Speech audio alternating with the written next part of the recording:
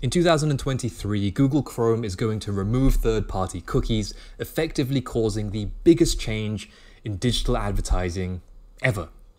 Not only is this going to change the way we advertise online forever, it's also causing a huge battle for a viable alternative. With browsers, ad agencies, regulators, ad tech firms, publishers, and brands all fighting it out to try and come up with an alternative way to track people online and sell adverts. But what does any of this mean? What even is a third party cookie and why are we replacing it? How can brands, publishers, and advertisers prepare themselves? The first thing to understand is what is a third party cookie. And to understand this, we need to understand what is a first party cookie. In 1994, Lou Montulli, the founding engineer of Netscape, invented the cookie as a way for websites to conveniently remember your information. Kind of like a report card that gets stored on your browser.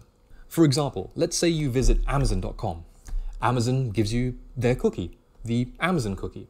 It's stored on your browser and remembers some information about you.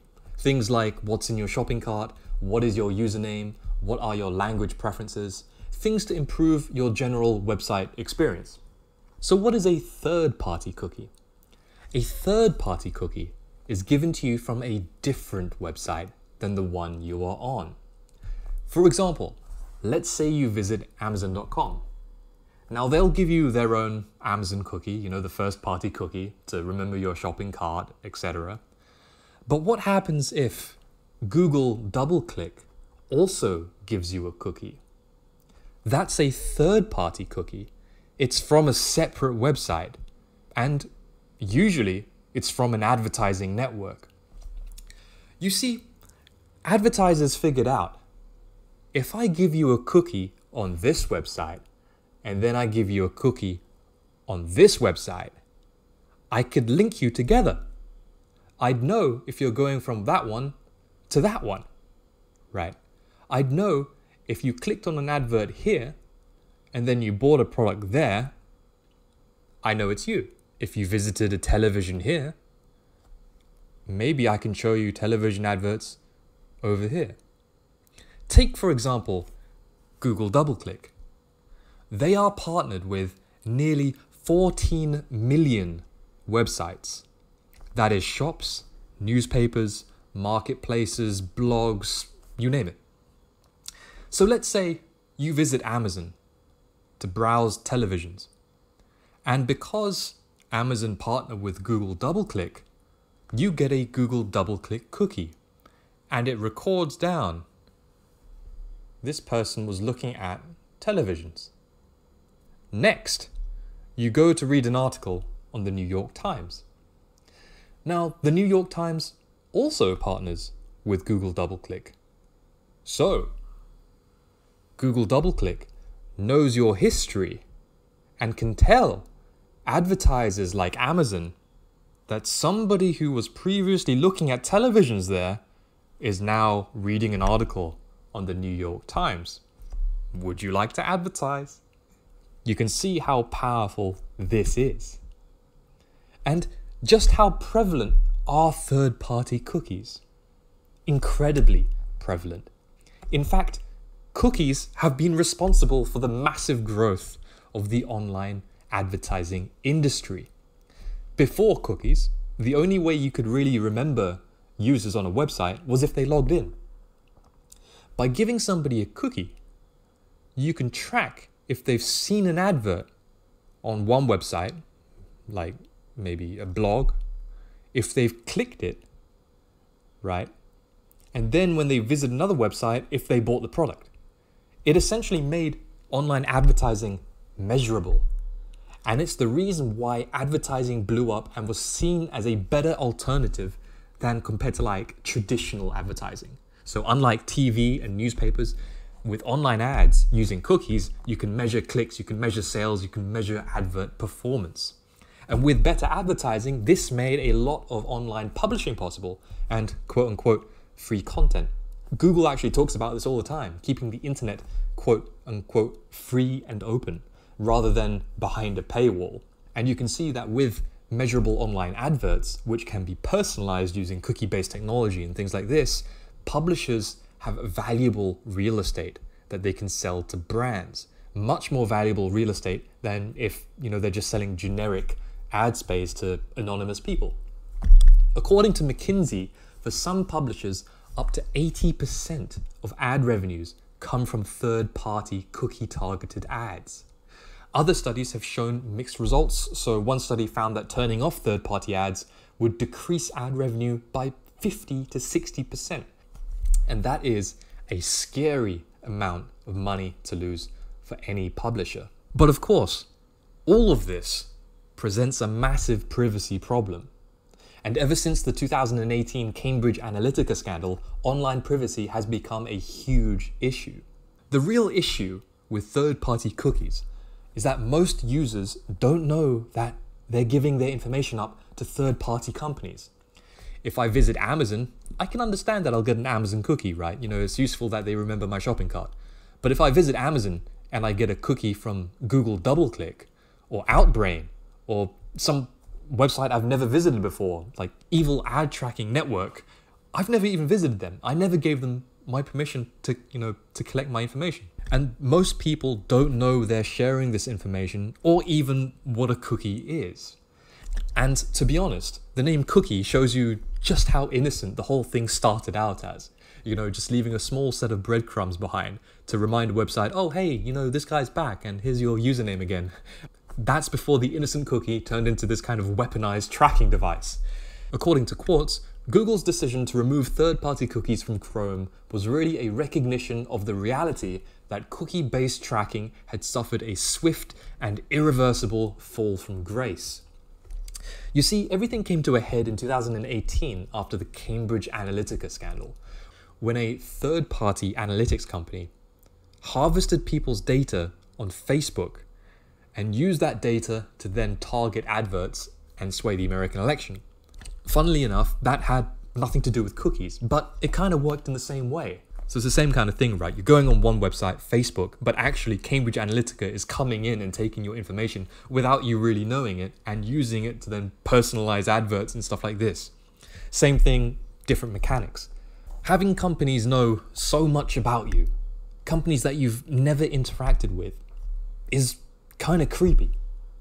According to the Pew Research Center, 72% of Americans worry that everything they do online is being tracked by advertisers, tech firms, and other companies. 81% believe the risks they face from having their data collected outweighs the benefits. So you can see why browsers like Firefox in 2019 and Safari in 2020 have already blocked third party cookies, and why now in 2023 Google Chrome is going to do the same. Third party cookies are going extinct. Right now, there is a huge competition going on to find an alternative to third-party cookies that brands, advertisers, publishers, and you know the regulators and public are going to be okay with. In fact, the W3C has a 355 member group, including stakeholders, browsers, ad agencies, ad tech firms, and publishers, all discussing a way to find common ground and a viable alternative. At the moment, we have three options. Let's explore. Option 1 Google's browser based model, FLoC. Google has announced that while Chrome will block third party cookies, it's going to replace them with a new tracking technology called FLoC. F L O C. Now, you didn't think that Google was completely going to hide you, did you? FLoC is said to have two privacy promoting features. First, Google Chrome won't track you on an individual level, but will instead group you with other users with common interests, effectively hiding you in the crowd. Secondly, all tracking data that is, you know, computed and everything to put you in this group is going to be stored locally on your computer, on your browser. So it doesn't get processed by a server or anything like that. The browser, Google Chrome, will do it all. So essentially, advertisers are going to have to target groups of users like, you know, the football cohort. And to target this football cohort, they're going to have to work with Google Chrome to do it, since Google Chrome holds all the data on tracking, targeting, and measuring. In those W3C meetings I was telling you about, Google has actually been criticized for basically forcing their agenda on everyone and turning the meeting of 355 members into a quote, show and tell. Jochen Schlosser, the CTO of Adform, an ad tech company, said to Quartz about Google, quote, It's not a conversation.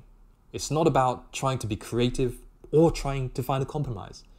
This is about someone doing a show and then taking feedback and then saying, Thank you for listening. It was great having you. Option two, first party data tracking. Now, the big time publishers, you know, like Vox, Insider, the New York Times, they've all seen this whole third party cookie fiasco coming. And, you know, they, they predicted this way back, you know, since uh, the GDPR thing happened in 2016. So they've already started doing first party data tracking. This means that they've started collecting your user data by themselves. So when you visit the New York Times, they ask to capture your email address. They record what categories of articles you're reading. They offer you surveys to find out what demographic or what topics you're interested in. Then, after collecting as much information as they can, they create segments of users, like football fans, fashionistas, etc., and sell ad space to advertisers. So, if you're a football fan, you'll see adverts for football streaming subscriptions, etc. Of course, there is a catch here. And that catch is that this massively favors big publishers, right? With huge amounts of visitors and huge budgets to be able to create these kinds of systems. For smaller publishers, it's much more difficult to collect this much first party data. And that's why we're getting these kind of partnerships going on. So the local media consortium is working on partnering together 5,000 US based local newspapers in a kind of new ad network to share first party data amongst each other. And there might be even privacy concerns on this. At what permission did I give the local news consortium permission to, you know, share my information amongst all of these different newspapers? Right. In fact, your companies may share your information with others to enrich their own data. For example, Vice, which has partnered with the credit agency Experian. Now, what data does a credit agency have? Incomes, cars, home details, credit history, list goes on. Option three, new forms of identity based tracking. In this case, an ad tech company or some kind of central authority, right, would assign everybody a unique advertising ID. One big example of this is Unified ID 2.0, which is a new central authority that's coming about and it's partnered with companies like BuzzFeed, the LA Times, Washington Post, etc. They've all signed up for this. In this case, companies will agree on using the same unique identifier, a person's email address, to then collectively gather data about that person and share it amongst all of them so they can serve that person relevant adverts. So, for example, let's say you visit BuzzFeed and you log in with your email address. And after this, you go to the LA Times and log in with your email address. Your unique identifier, your email address, basically gives you away to the advertisers that you've visited both websites. This method is said to improve privacy because the unique user ID, so the email address, would be encrypted, right? And there's also going to be an option to opt out of these websites individually. Of course, eh, there's a criticism here right? Because these companies are, again, sharing your information. And similar to the whole issue with third party cookies, I'm not sure at what point did I agree for, you know, BuzzFeed to share my information with the LA Times. So that's really where we are currently in terms of options moving forward. And it seems that there is no perfect solution. Either we give Google complete control over everything with their new Google Chrome FLoC scheme, or we let companies share our data with other companies, but this time with slightly different agreements, slightly different mechanics, but in the end, you know, still sharing our data everywhere. And I think let's be realistic here. Sharing data and selling personalized advertising space, I don't think it's something that's going to stop. In 2020, online advertising amounted to $378 billion. So, whether this is a battle for user privacy or control over the advertising industry? I'll leave that for you to decide. For publishers, exploring new ways to sell advertising space is going to be paramount. What percentage of your users are logging in? Are you able to collect more first party data? Are you able maybe to join a group of companies collecting first party data? How much of your ad revenue currently comes from third party cookies?